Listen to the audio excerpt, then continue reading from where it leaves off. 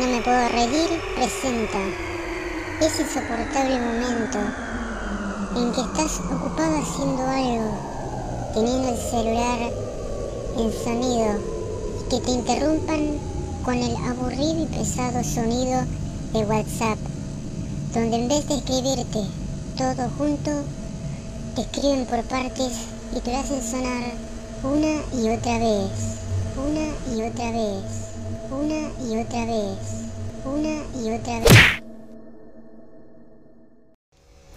Hola mi amor, te quería decir que seguro que mañana vaya con mis amigas a lo de la otra amiga y que también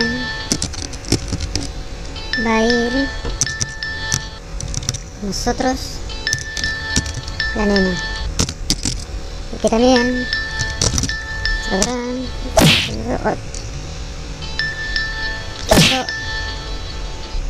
porque la otra vez no sé. bueno eso es todo.